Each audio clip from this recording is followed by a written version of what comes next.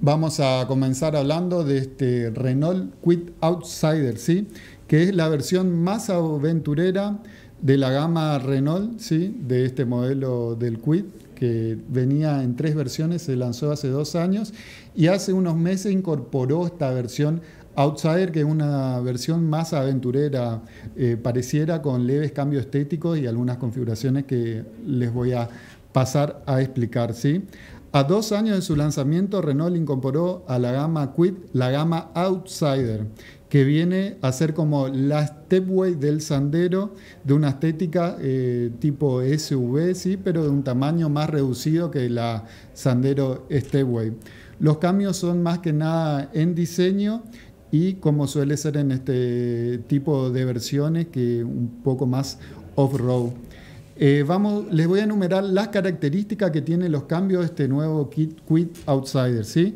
Adopta barras de techo, como podemos ver, que no son porta de equipaje, sino algo meramente estético. Eso sería algo criticable, porque si ponen esta barra de techo, por lo menos que se, eh, pueda poner un, porta, un, equipaje arriba así, pero el techo es como medio blandito el cuide, entonces no soporta peso realmente. También hay cambios en los faros antiniebla que tienen una carcasa plástica mayor. Hay una falsa defensa plástica metalizada adelante y atrás. La parrilla deja los cromados de otras versiones.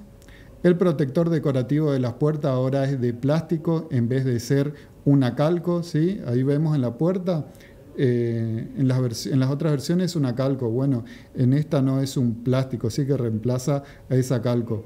Y las tazas de las ruedas son negras y no como en las otras versiones que son eh, gris. Eh, gris suavecita y gris oscura. ¿sí? Bueno, en este caso en la Outsider es negra. Con todo esto, el Outsider se despega al resto de la gama sin perder el atractivo natural del modelo que está bien resuelto de lo visual con el capot corto y casi horizontal, la línea de cintura alta, la caída abrupta de la luneta y los mínimos voladizos que le dan ese aire de camionetita a este Quid.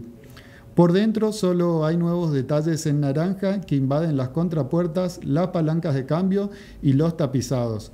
También adopta el nuevo sistema multimedia con Android Auto y Apple CarPlay que el modelo no se adeudaba así. En esa pantalla usted puede reflejar sus celulares tanto Android como iPhone. Igual es algo que a partir de este lanzamiento también llega a las otras versiones del Quid, incluso de otros modelos de Renault que venían con pantalla táctil, ¿sí? Entonces ahora más todas las líneas, todas las pantallas de la línea Renault van a poder reflejar sus celulares.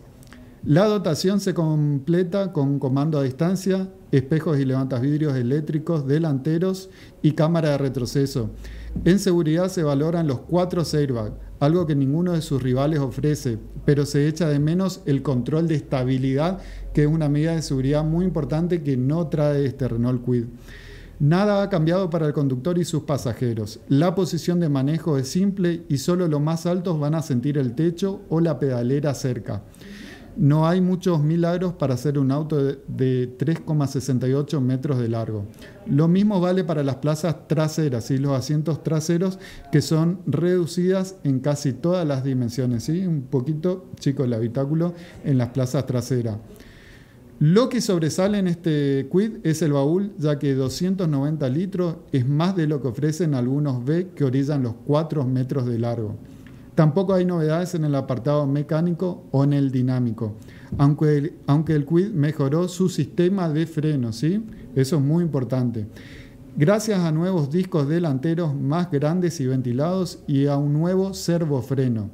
Al pedal se lo nota más aplomado a la hora de detenerlo, sin ese tramo inicial dudoso de las primeras versiones que probamos. Así que mejoró en los frenos, muy importante.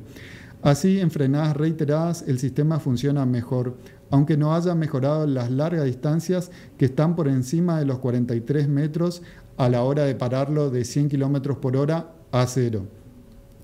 En prestaciones, el Quid tiene marcas respetables gracias a que los 66 caballos de fuerza que ofrece conviven con una carrocería liviana que apenas supera los 800 kilos, ¿sí? una carrocería totalmente liviana Y el motor es un 1.0 la cilindrada tricilíndrico de tres cilindros que ofrece una buena respuesta en baja, como para que los trayectos en ciudad se hagan con agilidad.